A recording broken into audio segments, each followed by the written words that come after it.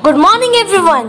Today, myself, Pushkar Agarwal, with my friend Navya Bhardwaj of Class 7B, are here to discuss about the topic of National Capital Territory, Delhi.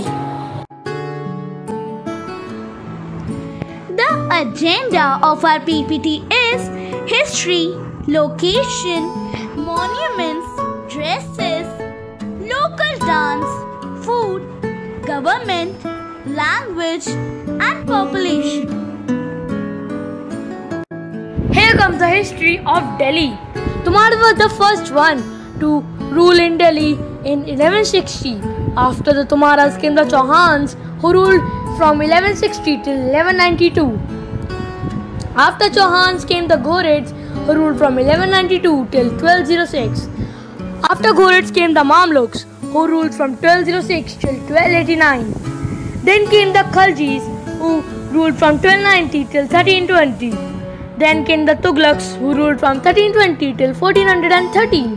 Then came the Sayids who ruled from 1414 till 1451. Then came the Lodhis who ruled from 1451 till 1526. Now, here comes the dynasty and its founder. First, I will tell you the name of the dynasty, then I will tell you the name of the founders. Dynasty Tomaras, Chauhans, Ghurids, Mamluks, Khaljis, Tughlaq, Sayids, Lodhis. Founder Anangpal Tomar, Prithviraj Chauhan, Abu Ali ibn Muhammad, Kutubuddin Aibak, Jalaluddin Firuz Khalji, Muhammad bin Tughlaq, Said and Bahlul Khan Lodi. The Mughals came in power in 1526 to 1540. They were defeated by the Suris in 1540 who ruled till 1555.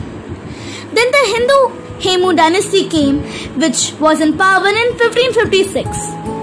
From 1556 till 1757 again there was a rule of Mughals. In 1757 the Maratha Empire defeated the Mughal and ruled till 1818.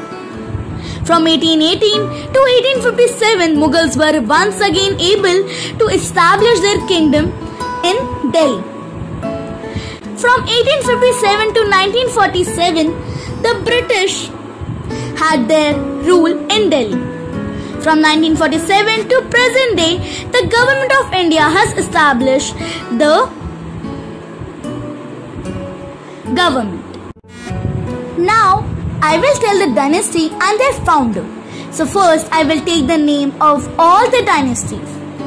Mughal dynasty, Suris dynasty, Hindu Hemu dynasty, Mughals dynasty, Maratha Empire, Mughals dynasty, British government of India. Now I am going to take the name of all the founders.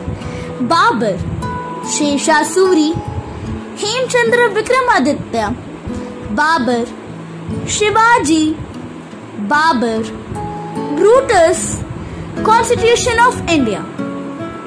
Now, let us talk about the location of Delhi. Delhi is located in northern India at 28.61 degree north at 77.23 degree east. The city is bordered on its northern, western and southern sides by the state of Haryana and to the east by that of Uttar Pradesh. Now, I am going to share the names of the famous monuments of Delhi. Lal Killa, Qutub Minar, War Memorial, India Gate, Humayun's Tomb, Jama Masjid, Old Fort, Lodi Tomb, Swami Narayan Akshardham, Lotus Temple. Now, let's discuss about the culture of Delhi. Delhi culture is all about the tradition of Delhi. Culture of Delhi includes festivals, art, paintings, embroidery, jewelry, handicrafts, cuisine, religion, and sports. Delhi, being the capital of India, is the land of festivals and celebrations. Now, we are going to introduce you with the traditional dresses of Delhi. The traditional dresses of women. Salwar kameez is a traditional dress of women folk in Delhi. The style has been imported from the Turkish Persian region and the dress is stylized in various ways currently. You will find salwar kameez with embroidery, stone, and mirror work.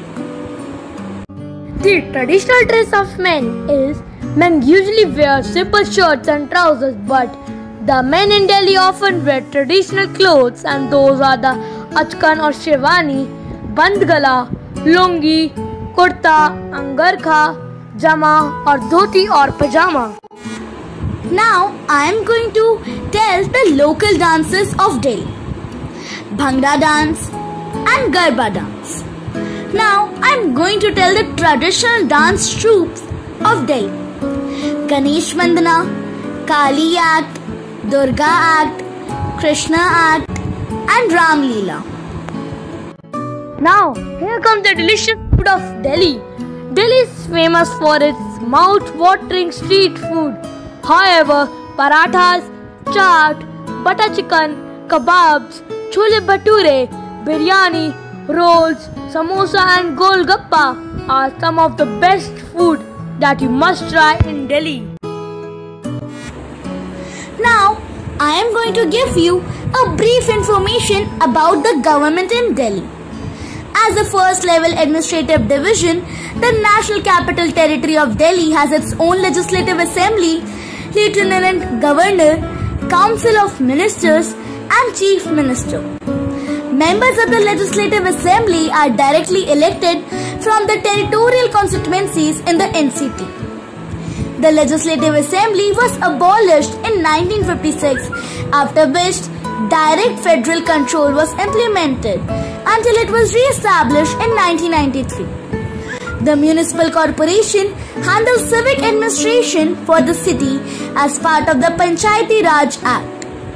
The Government of India and the Government of National Capital Territory of Delhi jointly administer New Delhi, where both bodies are located. Let's discuss about the government in power.